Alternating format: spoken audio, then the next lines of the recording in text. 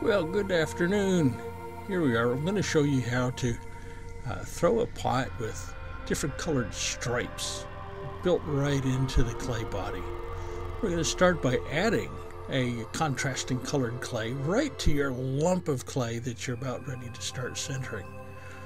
Now I took a big piece and put it on the bottom and a smaller piece and put it up top opposite uh, so that I'll have more stripage and a little bit bolder stripage at the bottom and it'll kind of fade towards the top. Also by putting the, uh, the colored clay just on the outside of my clay body, that means that my stripes are only going to show on the outside of my pot. Uh, so the inside is going to be all white, the outside is going to have these nice red colored stripes on them. After getting the clay nicely centered and I open it up, uh, that's the opening right there.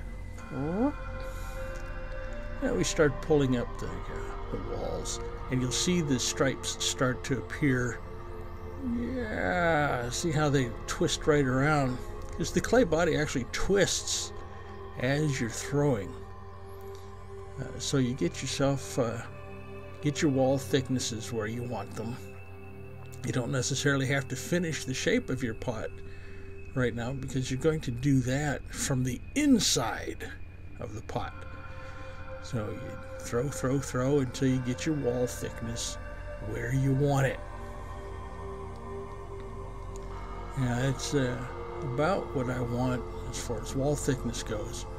So I'm not going to uh, to do any more work on the outside. So I'm going to take a, a really uh, thin metal rib and just scrape off all the uh, the slip uh, from the outside of my pot. You can see how that brings out the contrast in the color between the white clay and the red clay.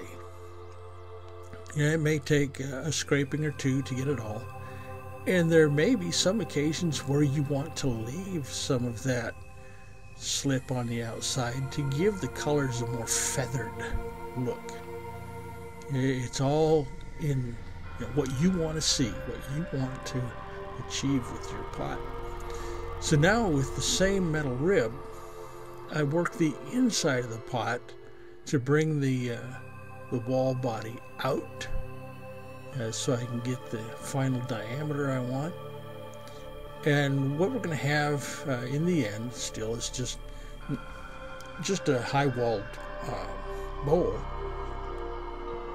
But using the rib to work from the inside, it keeps your, your walls stable. It, it doesn't have the tendency to allow the top to flare like so many times, you know, when you're trying to throw that bowl and you're pulling up and you're pulling out, and next thing you know, your bowl's too wide and it's falling over.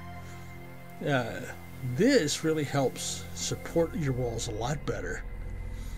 And it gives you a nice rounded finish because you work that rib all the way down into the center of the bowl. So you just have this wonderfully smooth uh, contour on the inside of your bowl. Now from here, I just keep on working it until uh, until I'm happy with it. Uh, you'll usually get a little bit of a dimple on the very bottom on the inside of your bowl as you uh, finish with the rib. So a touch of the finger will clear that up. And then it's just a matter of uh, finishing your uh, your edge. I like to use a, a piece of wet chamois type leather, real soft leather. Uh, and it just smooths the edge of that bolt right out. And there I'm pretty much done, other than maybe I see a couple little things I might want to clean up here.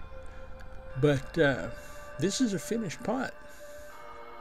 Thanks for watching.